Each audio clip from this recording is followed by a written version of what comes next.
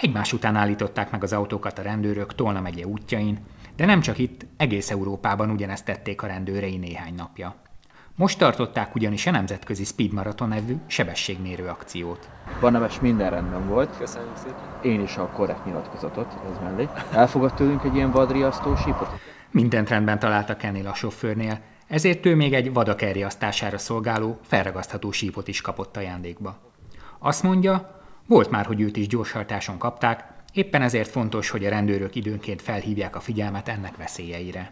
Sajátos módon a gyorshajtá- gyorshajtást azt néha mi is elkövetjük, eh, de nem sosem úgymond akaratos, de tény és való, hogy központilag célszerű odafigyelni, mert ha senki nem eh, tartaná be a, a, ezeket a szabályokat, akkor, akkor, akkor a nagy számok törvényében nagy káosz is lenne.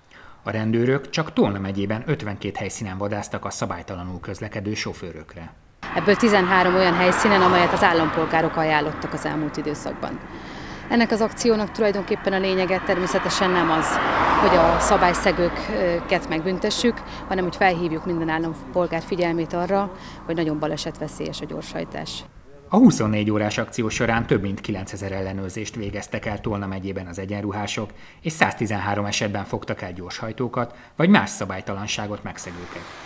A hatóság szóvívője szerint még mindig rengeteg tragédia következik be azért, mert sokan nem megfelelő sebességgel haladnak az utakon. A baleseteknek legalább 50%-a amiatt következik be, hogy az utakon közlekedők gyorsabban haladnak a megengedett sebességnél.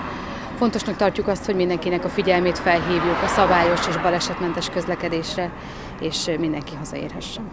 Országosan az összesen 706 rendőr részvételével megtartott akció ideje alatt 1297 helyszínen 457.061 járművet ellenőriztek, ezek során 5013 sebesség túllépést mértek az egyenruhások.